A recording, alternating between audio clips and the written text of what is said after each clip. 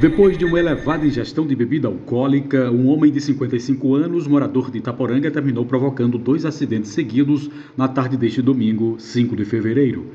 Primeiro, ao sair com seu carro, um gol preto, de um bar localizado na Avenida Padre Lourenço, centro da cidade, ele bateu na parede do estabelecimento, que foi parcialmente destruída. Em seguida, perdeu novamente o controle do veículo e bateu em uma árvore na calçada de uma residência na rua José Inácio de Araújo, em frente ao quartel da Polícia Militar. Preso, foi conduzido à delegacia e autuado em flagrante por embriaguez ao volante. O crime é afiançável.